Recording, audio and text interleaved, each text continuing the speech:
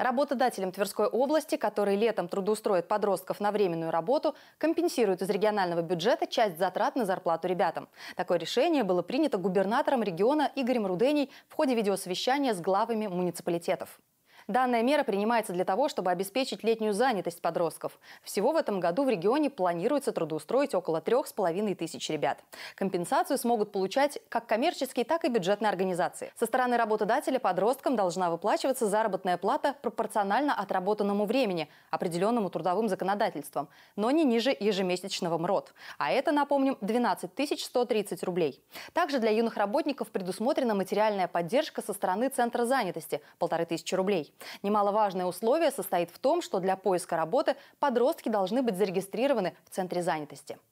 Мы понимаем, что эта мера э, сегодня очень необходима в силу того, что не э, в стандартном режиме будет работать система пионерских лагерей, оздоровительных лагерей, э, вообще система всего отдыха. Поэтому очень важно, чтобы дети наши имели возможность поработать, чтобы они не остались без присмотра.